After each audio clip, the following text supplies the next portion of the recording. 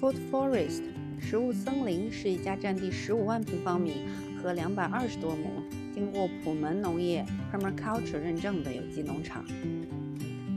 在入口，我就留意到他们的围墙有些特别，很像我小时候在北方看到的土坯墙，感觉还挺田园的。下面我们就一起来看看普门农业到底是什么样的吧。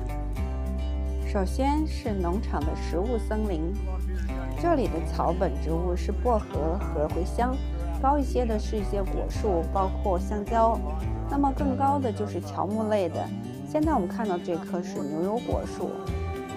除此之外，还有地下的部分，这是一种来自越南的芋头。植物的和谐共生是农场的精髓，也是普门农业的核心设计理念之一。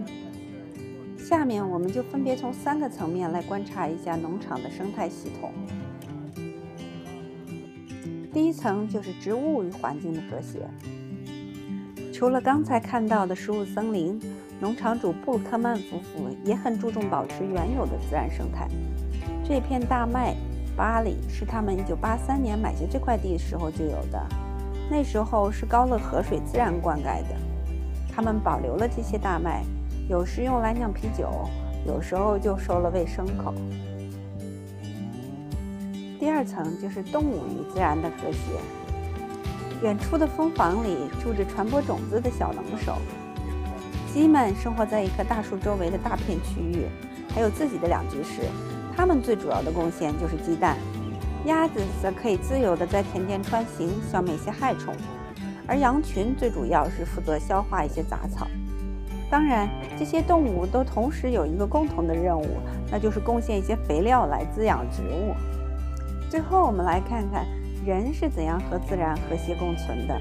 先看一个非常有趣的设计，这个楼梯状的铁盒其实是个饲料盆，鸡站在第一层，第二层就会打开。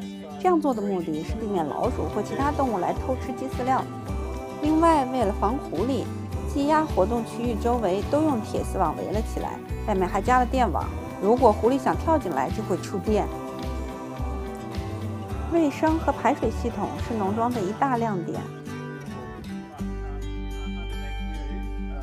洗手间和厨房都设计了很好的废物处理系统，所有的废物都经过一系列生物降解流程，转化为可以利用的能量。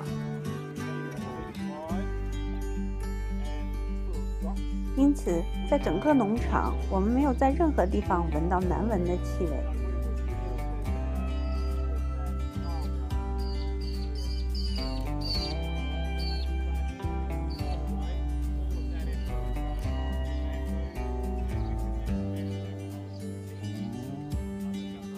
最后就是我们的重头戏了。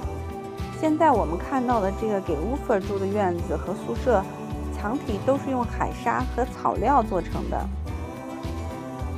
墙体是由三层组成，最里面一层是草垛，第二层是塑料膜，第三层是海沙。看起来是不是有点复古的风格？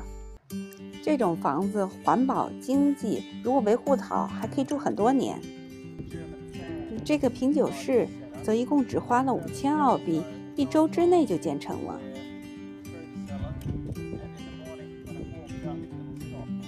从这个样板间我们可以看到，墙体是由木桩固定和支撑起来的。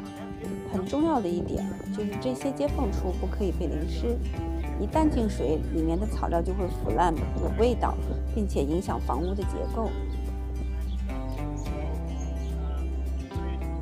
如今，这个农场已经有了一百六十多种各类粮食作物，除了蔬菜以外，最主要的经济作物是葡萄。开心果、核桃和无花果等。我觉得这里已经被布鲁克曼夫妇打造成了现实存在的伊甸园。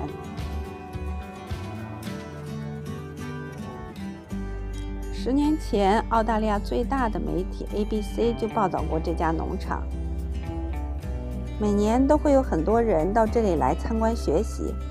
并把他们这里生产的美食和美好理念一起打包带回去。